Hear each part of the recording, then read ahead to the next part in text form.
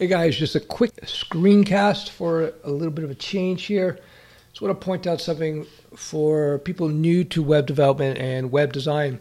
One of the things that you see out there a lot of times is that you're going to be seduced by the brand new frameworks or the brand new technology that comes out, whether it be web development or web design, whether it be uh, programming, whatever. And one of the things you have to always be mindful of is how useful this technology is in the real world, meaning what kind of support there is for a particular technology. Because a lot of times new tech comes out and it's cool new tech, but in the real world there may be a lot of limitations. So for example, the easiest example example I can cite is in the web technology, you have all kinds of new stuff coming out in CSS or in HTML5 or JavaScript, and they're great things, but they're not supported in a lot of the browsers people are using. So when I say they're not supported, it just simply means that the browsers that people are using don't understand some of these new technologies, some of this new code. So, how do you determine whether or not a new tech or some new code is acceptable? Well, in the web stack, you can go to a site called caniuse.com, and here it is. And then you can just throw in right up here what it is you want to search for. So, for example, there's two new techs in CSS, something called Flexbox, and this is it right here. And there's something else called Grid. Now, Grid and Flexbox are very significant technologies because they simplify the whole process of creating layouts in CSS. And that's very cool. So, what's the significance of these two technologies? Well, first of all, old style float based layout is still something you have to learn. That's why I still teach it because so many sites still utilize it and it works. And actually, once you know it, there's just three basic things you got to know.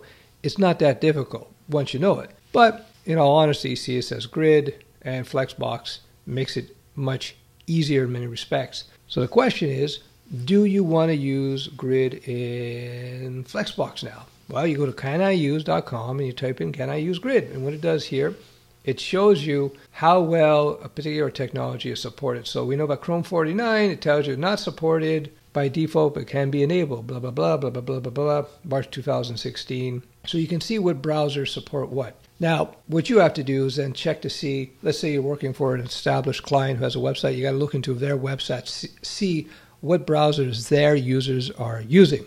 You might find a lot of their a lot of their people are using IE10. You don't know. It depends on the nature of the website. And so you have to check that before you jump in to use one of these cool new technologies because you don't want to build something cool with CSS Grid as an example and then you find that 5 or 10% of the web browsers that people use it doesn't work. So this is related to the latest version of Bootstrap. Now, Bootstrap has version 4.0. This is it here. And it says right here Bootstrap 4 is built with Flexbox. So there's a dependency here. And I'm not sure how backward compatible is, but there's also Bootstrap 3 as well. So that's another version of Bootstrap which uses older techniques. You know that Bootstrap 3 is totally different, uses older techniques behind the scenes, but you know that it's going to be 100% compatible with all browsers.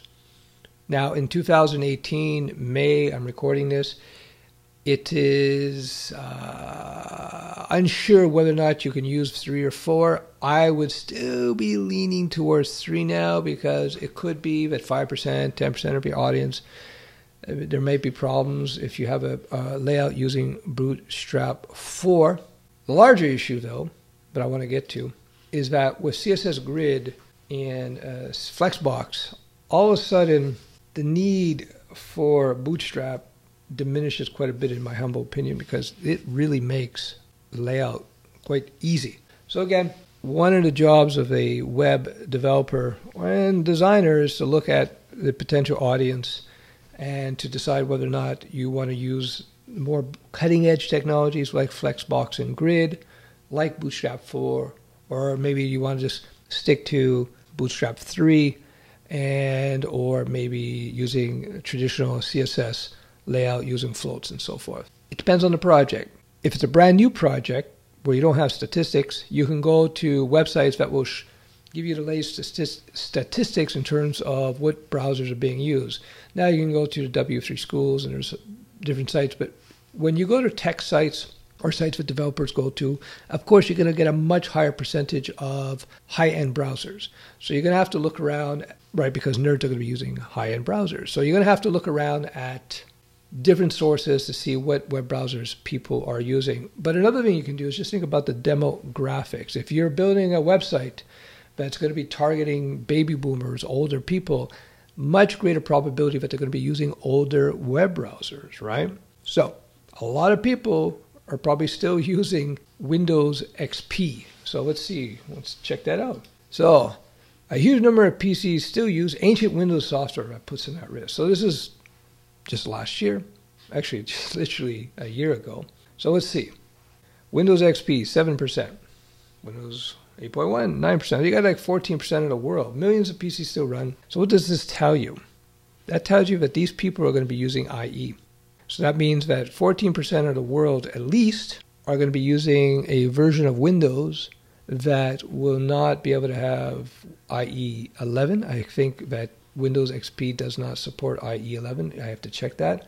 But it won't support the latest Microsoft browser. So there you go. You got at least 14% of the world who will not be able to view Bootstrap 4 unless Bootstrap 4 has some fallbacks. And it will not be able to use CSS Grid. You will not be able to use CSS Grid or Flexbox if that is the case. Again, it's a bit of research. I would be reluctant to jump into this new stuff yet. Why? Because Bootstrap 3 still works really well. And you know it's going to work with all these guys here, all these millions of PCs. So you may be a developer saying, ah, who cares about these people? Well, if you're a business owner, do you want to lose 15% of your potential client base? I don't think so.